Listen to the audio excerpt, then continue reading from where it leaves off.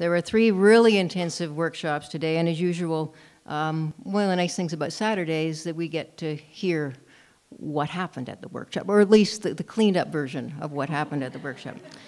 Um, so this, uh, so to start, we're going to have three of the participants in uh, Olive Senior's Workshop, and would they come up? We've got Amber Homeniuk, uh, Matthew George, and Bonnie Gardiner.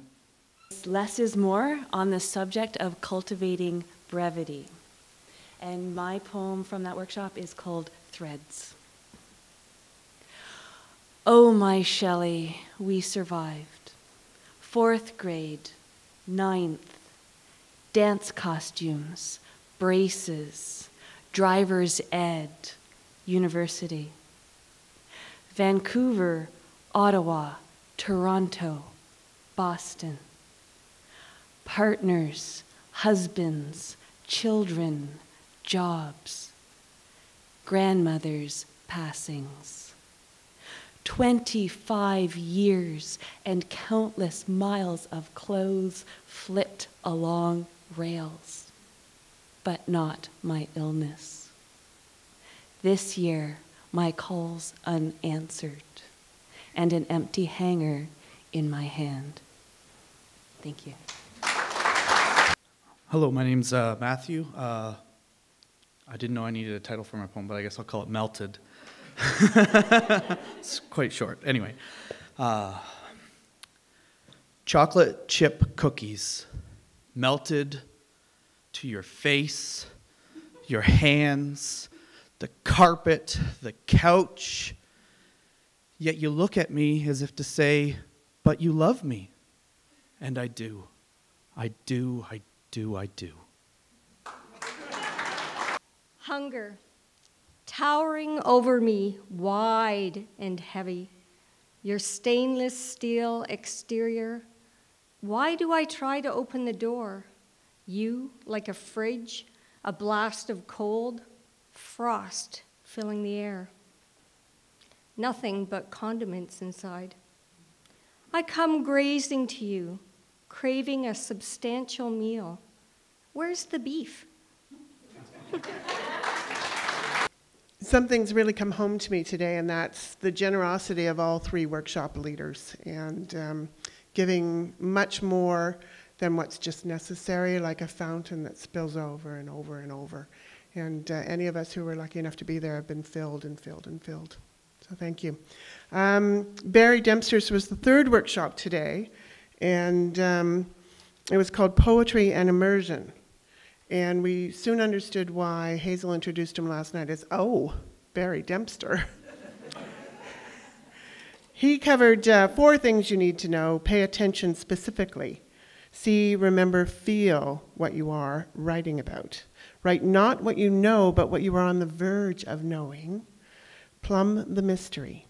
Reflect the act of discovery and transformation. Use the senses, explore the musics, the sounds, the rhymes, the rhythms, the mood, the tone, and then he tricked us with a color exercise. He kept bringing us in and in and in, um, closer and closer and closer to who we are and who we are on the verge of knowing. And the final exercise we did, he said, think of um, three colors that best describe you. And the first one I wrote down was molten lava red. Yes, I could write about that. And then the second was melted ice green. I could write about that. And the third one just popped into my head because I was out of ideas, and that was butterscotch. I don't know. Then he talked about Jung having said that the first answer to any question is always what you know. And the second is, oh, oh, did I give too much away? And the second one is going to be safe. And the third one is actually where the truth slips in. So, guess who had to write about butterscotch?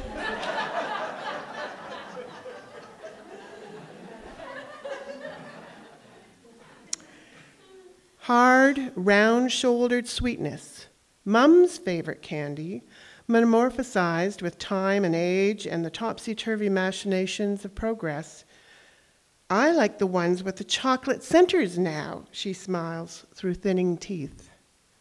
Her stories more open, full bodied this visit. The boy she had a crush on had a name Roger, a real good necker. He never touched me with his hands, though. I like that.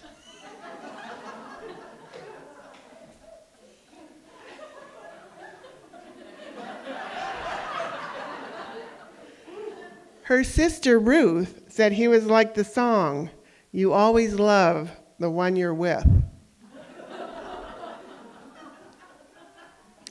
Mum has a memory of me, too, and I realize in retrospect how rare this is. Unheard of, really, as she unveils 60 years of ripened disgust because once I farted in church.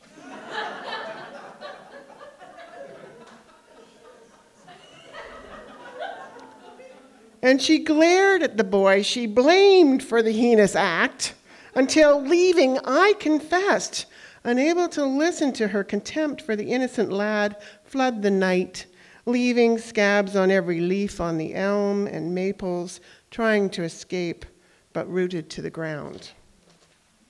She tells me, too, she's only been attracted to three men in the 30 years since Dad's death, all three of them French all of them younger, prime. One of them, the chef across the street, tall and knock 'em dead handsome. I do not like brittle butterscotch, only the chocolate at the center. Telling her to melt dark with milk bars together to cut the bitterness without sacrificing the sweetness. Terry Ann Carter led one of the other workshops today, and she's going to come up and uh, tell us what they were up to. Terry Ann. It was a haiku workshop where we basically learned some techniques. How we capture the aha moment by either comparing images, contrasting images, associating images, or the wide angle coming in closer, and then the close up, kind of framing the moment. And so, three people from the workshop who were not able to be here this evening but wanted their poems read, and I said I certainly didn't mind reading them. They're absolutely lovely. I'm going to just stick with first names. From Fairalith Snow falls on snow, sculptures form on ancient cedar.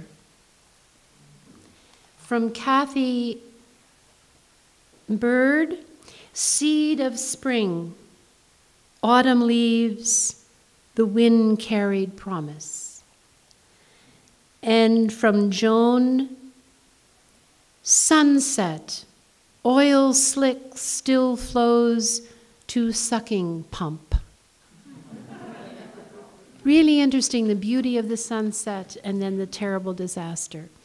Um, Liz asked me if I would just quickly, it was a show and tell because I uh, take haiku and put them into small books. And she said, Could I just show two? So I'll show you this book, which is a book anyone can learn how to make because it has to do with folds.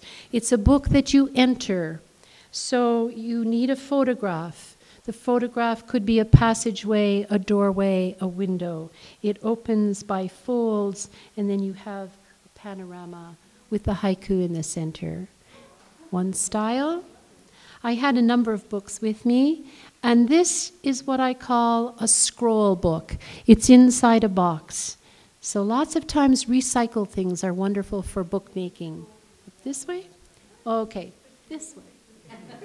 right. I also do yoga, so. the box opens like this the scroll falls out like this. And now I have an installation for a wall. So we had a good time. Thank you. This year, uh, we had four workshops, which uh, apparently were spectacular. Uh, it's the tradition to have one designated workshop P from each of the workshops perform on the main stage. This morning, uh, we had the last workshop, which was uh, led by uh, Lara Bozabalian. Got that close, I think. And I'd like to bring uh, a workshop B from that workshop Kathryn Edgecombe to the stage right now. Kathryn. So the activity that we were uh, set to do was to take something beautiful and, and convince the reader that we didn't like it, or to take something that we hated and convince the writer that we loved it. So this was uh, what I did. Most writers have to put their glasses on. I have to take mine off to read. All right. Your words, loud and clear, fill the air around me with meaning. My entry point in the, into the conversation is sheltered by your opinion. Spoken with determination and without hesitation, fill the empty spaces between my thoughts.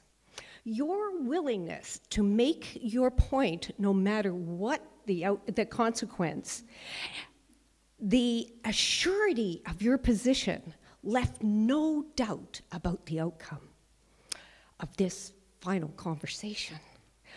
I am so delighted that there is no possibility of misunderstanding.